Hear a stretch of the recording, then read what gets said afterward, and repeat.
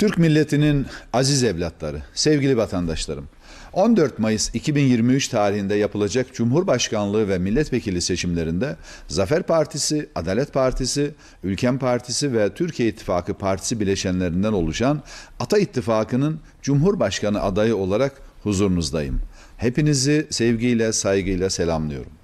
Öncelikle bir cumhurbaşkanı adayı olarak sizlerin bizlerin vergileriyle faaliyetlerine devam eden devletin yayıncılık ve haber sağlamada en önemli kurumu olan TRT'nin adaylara eşit şartlarda yer vermediğini ifade etmek isterim.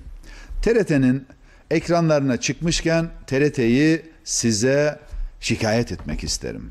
Biz bütün adaylara eşit şekilde yer verilmesinin anayasal bir zorunluluk olduğunu ifade etmemize rağmen TRT ekranlarında ne yazık ki yeterince yer bulamıyoruz.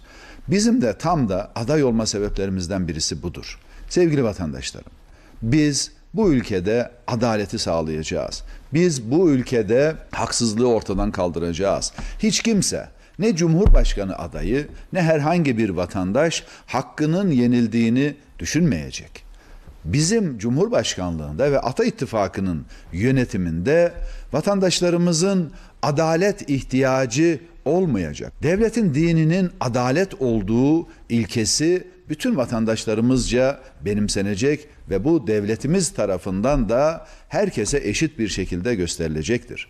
Demokrasinin herkese lazım olduğu, demokrasinin tüm kurum ve kuruluşlarıyla işletilmesi gerektiğini biz inşallah kendi yönetimimizde göstereceğiz.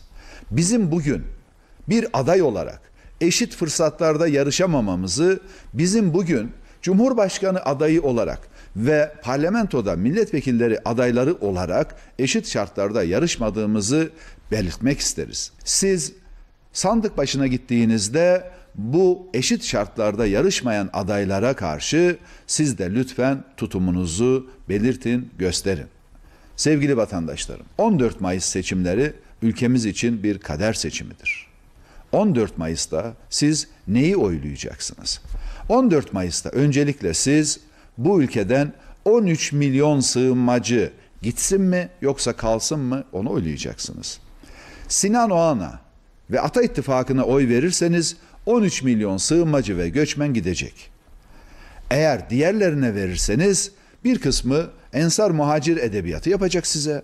Bir kısmı gönüllü gönderelim diyecek. Ötekiler davetiye çıkaralım diyecek. Ama bir tek Ata İttifakı kararlı ve istikrarlı bir şekilde sığınmacıların, kaçakların ülkelerine gönderileceği sözünü size verecek. Şimdiye kadar 150 milyar dolardan fazla Türk milletinin parasının harcandığı, şimdiye kadar çok sayıda ama çok sayıda suça karıştıkları halde hükümet tarafından bunların gösterilmediği, şimdiye kadar sokaklarda kadınlarımızın rahatsız edildiği, rahatça yürümediği bir sürecin sonunda biz size şunun sözünü veriyoruz. Ve diyoruz ki sığınmacılar ülkelerine gidecek. Sığınmacılar ülkelerine mutlu ve mesut bir şekilde gidecek. Ha gerekirse zorla gidecek. Ancak bu zorluk hukuk içinde olacak. Kaçak olarak giren bir Türk İngiltere'de e, yakalandığında o Türk'ü ne yapıyor İngiltere? Almanlar ne yapıyor? Amerikalılar ne yapıyor? Sınır dışına gönderiyor. Biz de aynısını yapacağız. Adalet ve Kalkınma Partisi hükümeti sığınmacılara birçok ayrıcalıklar tanıdı. Hatta Türk vatandaşlarının sahip olmadığı ayrıcalıklara sahipler. Türk vatandaşları sizler bu ülkede askerlik yapanlar, bu ülke için hayatını verenler, bu ülke için şehit olanlar hastaneye gittiğinizde siz para ödüyorsunuz. İlaç aldığınızda siz para ödüyorsunuz. Ama bir Suriyeli için bu bedava. Biz bütün bu ayrıcalıkları kaldıracağız. Cumhurbaşkanı seçilirsem benim bir numaralı kararnamem Suriyelilerin ve sığınmacıların ülkelerine geri gönderilmesi. İki numaralı kararnamem bir afet bakanlığının kurulması olacak. Sevgili vatandaşlarım, öncelikle bütün depremde hayatını kaybeden vatandaşlarımıza Allah'tan rahmet diliyorum.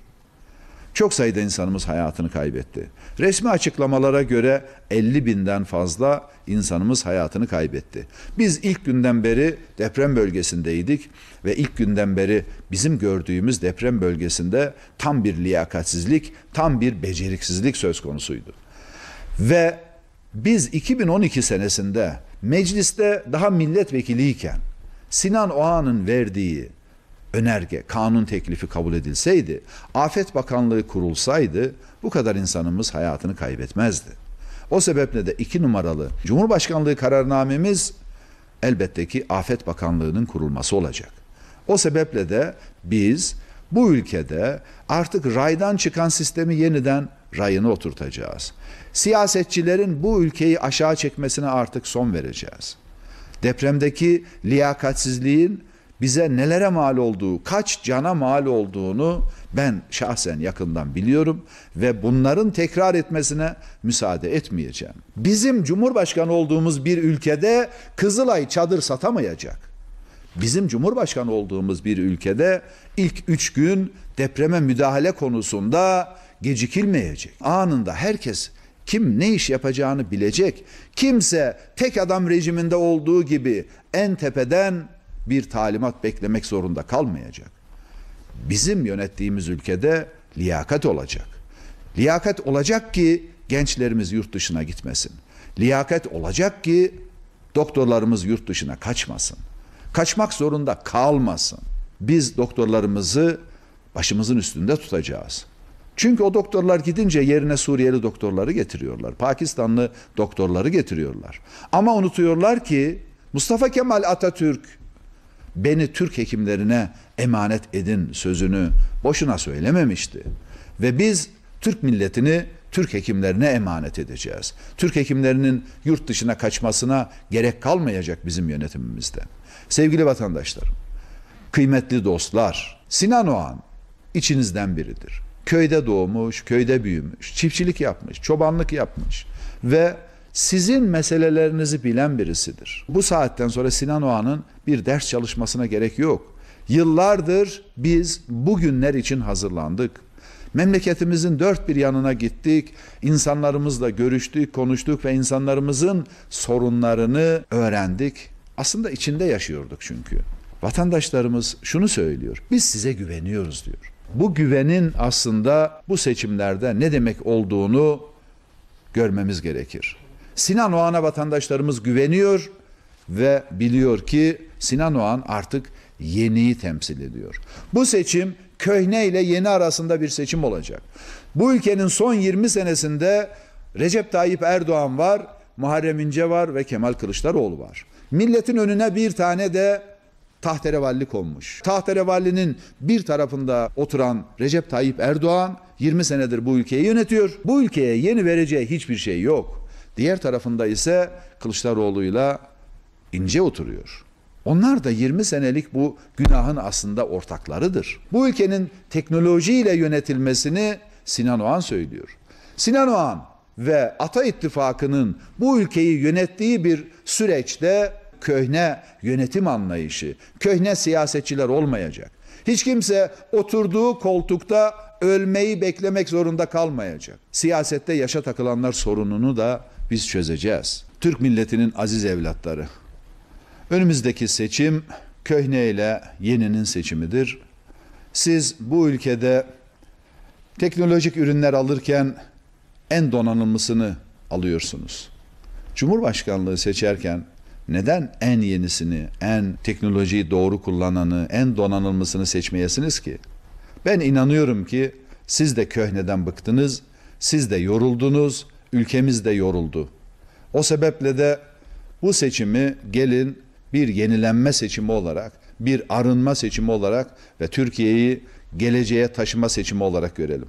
Bunun için de oy pusulasındaki dördüncü sıradaki Sinan Oğan'a evet mührünü basın.